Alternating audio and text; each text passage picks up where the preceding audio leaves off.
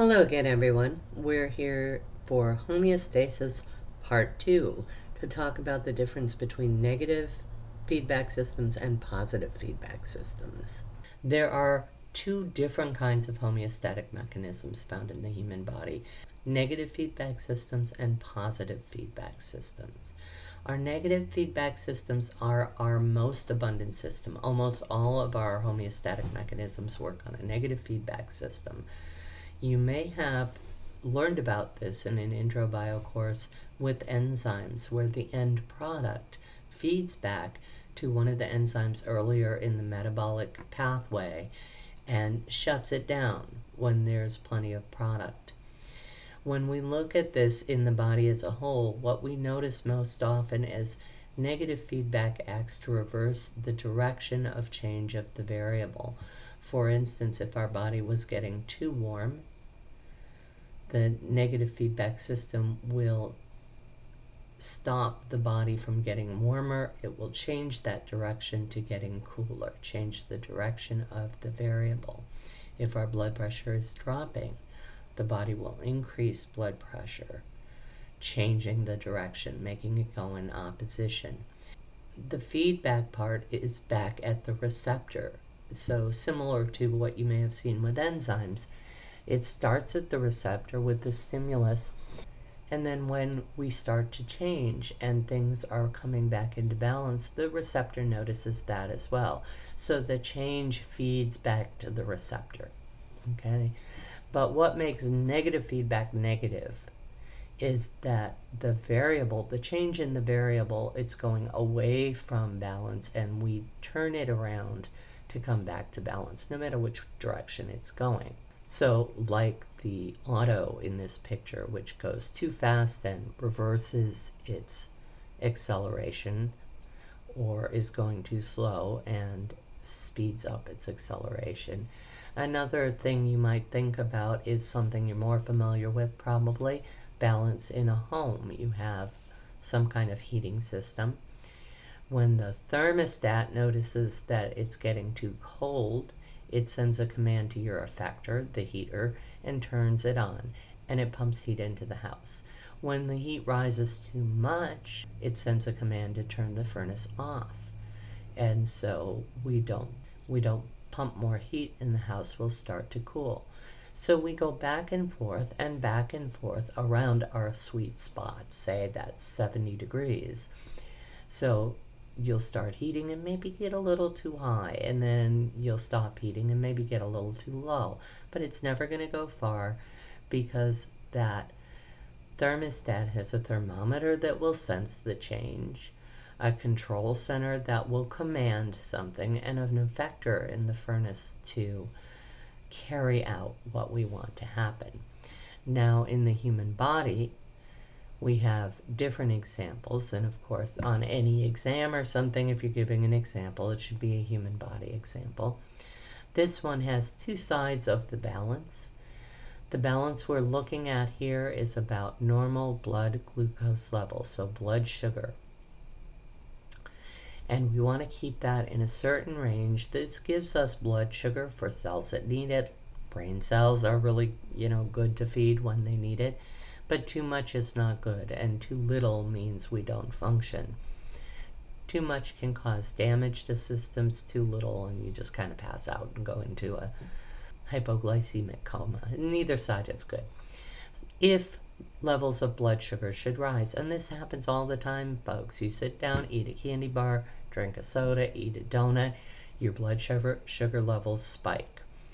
And cells called beta cells in the pancreas will sense this. They're the receptors. Now, the funny thing here is that those beta cells are the receptor, they're also the control center.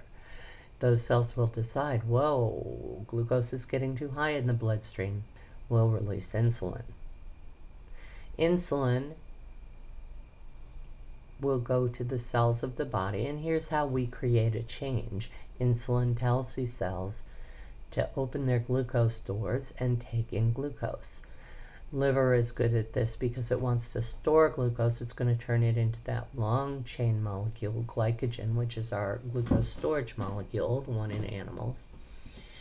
But most cells of the body will take up more glucose, and we've reduced it in the bloodstream, which is very good.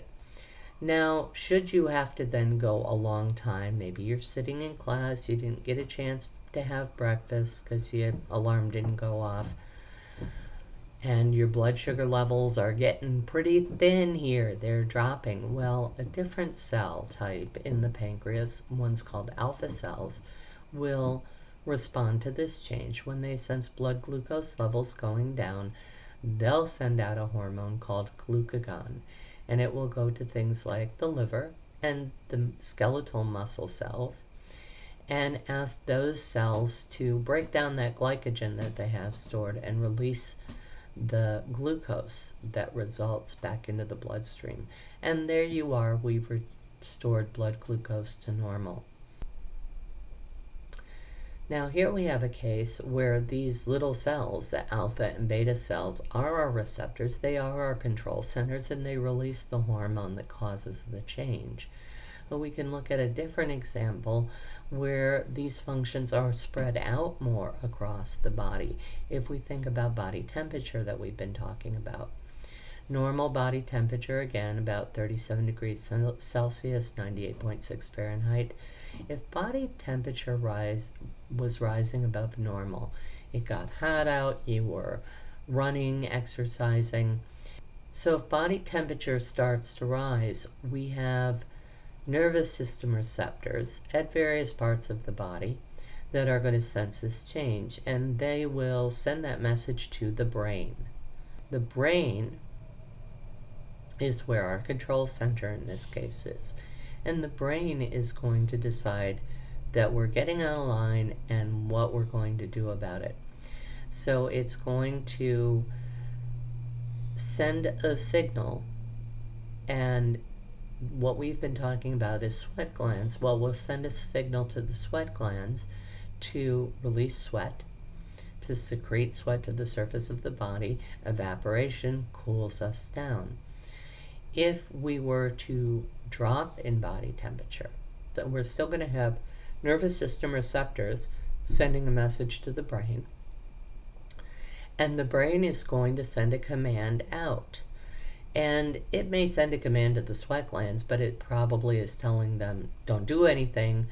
Uh, somewhere else, it might send a command. What would be the effector in this case would be skeletal muscles. And it would say to skeletal muscles, shiver.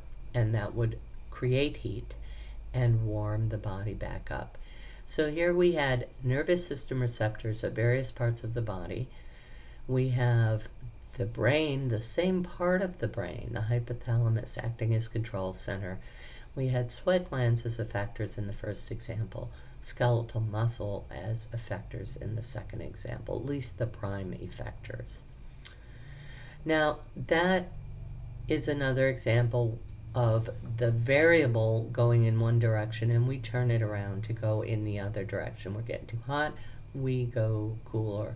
We're getting too cool, we go hotter.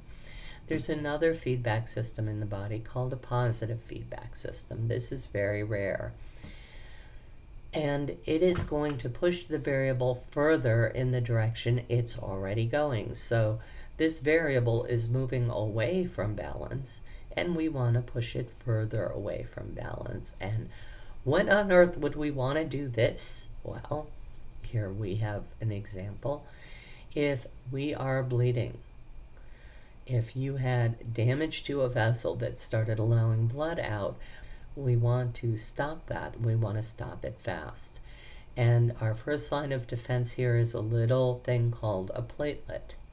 Platelets are present in the bloodstream and they pretty much don't do anything unless certain things happen. When we tear, cut, open a blood vessel, the chemical environment changes and that gets the platelets to start behaving differently. And what they're going to do is stick to this torn area or stick to the edges and they're also going to release chemicals that call more platelets. So more platelets will come and stick to this area and release chemicals to call more platelets. And they'll call more platelets and they'll call more platelets And so if you look at this picture, if we start with two, and each of these two can call in three more, and each of those three can call in three more and three more, you can see we have a cascade effect. We have an amplification effect. So very, very quickly we can go to from 2 to 200 to 2,000 platelets sticking along this place where we had a tear. And it's a finger in the dike. They, they get stuck there and keep the blood from flowing out. You'll learn later that this is just the beginning of protecting us from blood loss. But this is a very important beginning because it can happen very quickly and keep us from losing too much blood and dying before we can seal ourselves up. So in this case, we really, really, really want to push that variable, platelets sticking to the wall, in that same direction. Keep sticking, keep sticking, keep sticking. Okay? And if you're saying to yourself, oh my gosh, how come we don't turn into one big blood clot inside? You're going to have to wait for that till you get to the cardiovascular system. Another rare example happens during childbirth. And this specifically is the part where the muscular layer of the uterus contracts. Now, when a woman about to give birth starts to have contractions, they're few and far between, they're fairly mild. That's not going to do the job, folks. We have to get some big force going on here to move a whole baby out of that uterus through the tiny little opening. So we need to build that up. Those first contractions are sensed by receptors in the wall of the uterus. Another thing that triggers these receptors is the baby's head pushing against them. But there's various places along this muscular wall where we have receptors and they sense the force of contraction or the force of the baby's head, and they send signals to the brain. On getting these signals, the brain releases a hormone called oxytocin. Oxytocin, being a hormone, goes through the bloodstream back to the uterus, among other places, and stimulates the muscle to contract which stimulates the receptors, which gets to the brain, which sends more oxytocin to contract the muscle some more, around and around till the contractions are so strong that the woman is screaming like her life is ending, and uh, the contractions will be forceful enough to push this whole human being out through here. And that is positive feedback. The pressure or mild contractions to the smooth muscle in the uterus stimulates a process by which we make those contractions bigger and bigger and bigger and bigger, amplifying the effect or having a cascade effect, pushing the variable further in the direction it was already going. So, positive feedback is the second of the two, negative and positive feedback, that help us maintain our balance in the human body. Maintain your balance. We'll see you another time.